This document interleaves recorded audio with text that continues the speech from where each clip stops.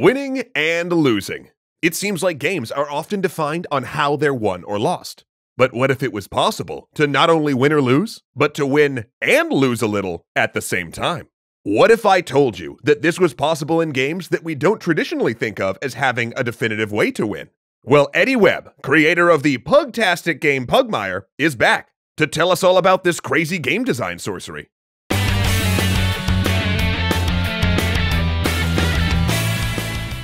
This episode is brought to you by CuriosityStream, the world's first streaming service dedicated to the lifelong quest to learn, explore, and understand. Check it out for yourself at curiositystream.com slash extra credits for a free month.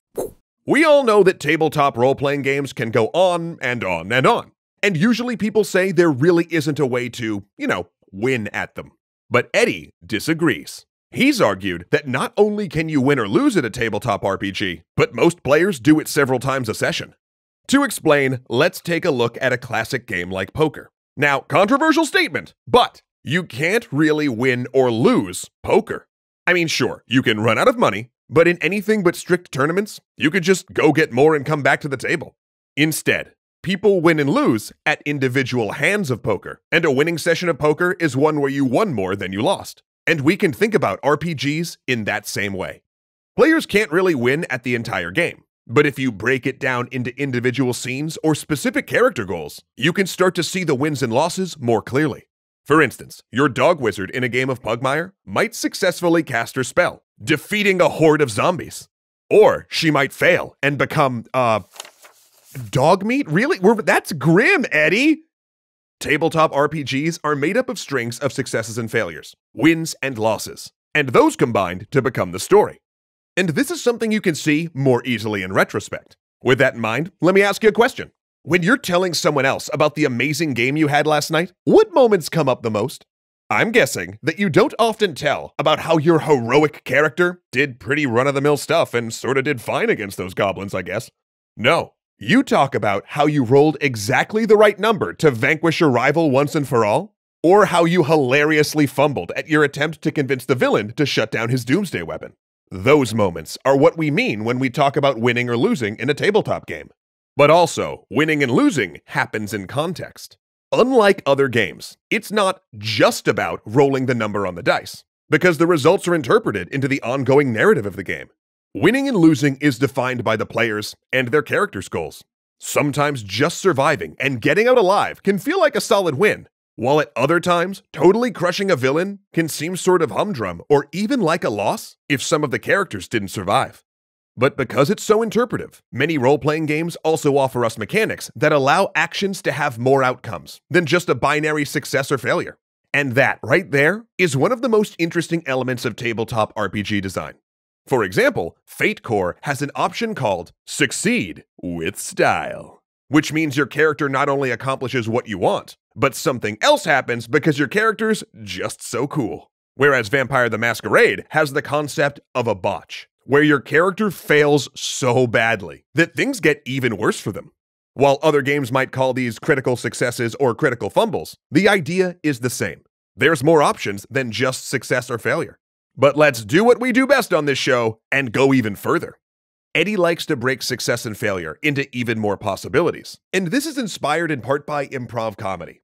In improv, you're taught to always say yes and to any prompts you're given. So that makes you not only accept a premise, but also add something to it.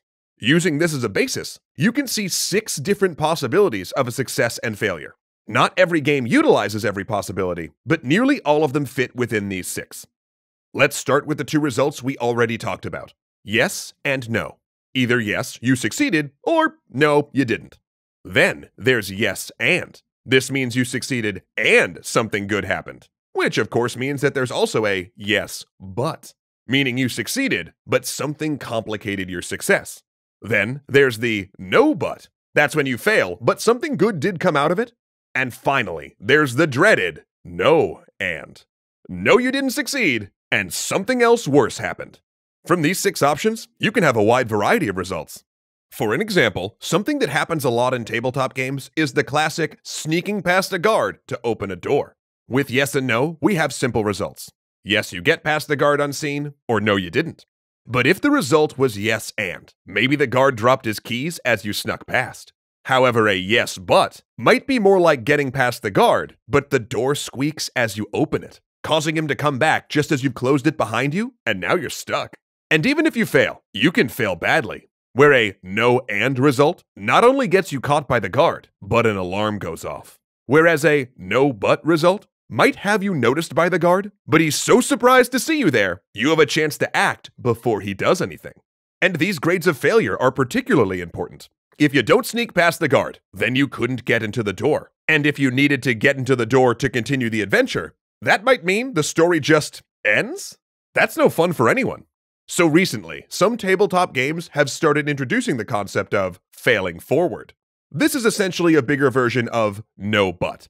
If you fail, something will always put your character back on track. It might not be the track your character wanted, and it's probably going to make things harder for them, but things don't just stop.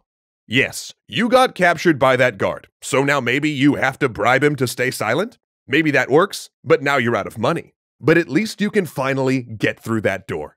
It's failure, but with the story still moving forward. Whether you succeed or fail, though, remember that winning and losing is taken in context in a tabletop game. The frustration of losing can be mitigated by it unfolding into more awesome story to tell. And while a personal winning moment can be great, enjoying the experience of other players winning is also a win in its own way. At least that's what Zoe keeps telling me while she rolls nat 20s on what is clearly my lucky die. Fine, you stole the die, and you get a treat. Our motto at Extra Credits is because learning matters. So we got really excited when Curiosity Stream, with their love for learning, sponsored this episode. Because they have over 2,400 documentaries and nonfiction titles spanning topics from across science, nature, history, and technology. Featuring folks like Jane Goodall, Stephen Hawking, and my personal favorite, who I happened to run into in an NYC movie theater one time and totally didn't embarrass myself in front of, Michio Kaku. What up, Next World? And you can get access to all of this geeky goodness for only $2.99 a month. But if you head to curiositystream.com slash extra credits right now and use the code extra credits, you can get your first month absolutely free.